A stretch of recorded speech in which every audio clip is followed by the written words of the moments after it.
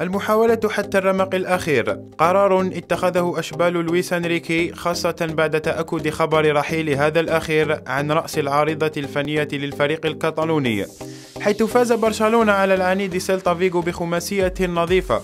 في ملعبه الكامب نو سهرة الأمس لحساب الجولة السادسة والعشرين مستعيدا بذلك صدارة الترتيب. حيث باتت تشكيلة البلوغرانا جاهزة لاستضافة الفريق الباريزي سهرة الأربعاء لمحاولة التدارك في إياب الدور الثمن النهائي لرابطة الأبطال. بعد الخسارة المدوية ذهابا في حديقة الأمراء. دائما مع الليغا الإسبانية فاز الملاحق ريال مدريد على مستضيفه أيبار بأربعة لواحد في مباراة برز فيها المهاجم كريم بنزيما بتسجيله لثنائية في ظل غياب كريستيانو بيل وموراتا. ليبقى بذلك الميرينجي على بعد نقطة واحدة من المتصدر برشلونة وبمباراة متأخرة.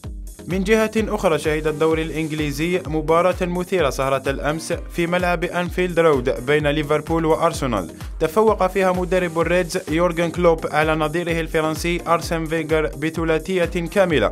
مكنت فريق ليفربول من الفوز بطريقة مثيرة على المدفعجية. بعيدا عن كرة القدم وفي دور كرة السلة الأمريكية للمحترفين تأهل سان أنطونيو سبيرز إلى البلاي أوف عقب فوزها على مينيسوتا بنتيجة 97 نقطة مقابل 90 بعد التمديد. بذلك رفع سبيرز رصيده إلى 48 فوزا من أصل 61 مباراة ليحتل بذلك المركز الثاني في المنطقة الغربية.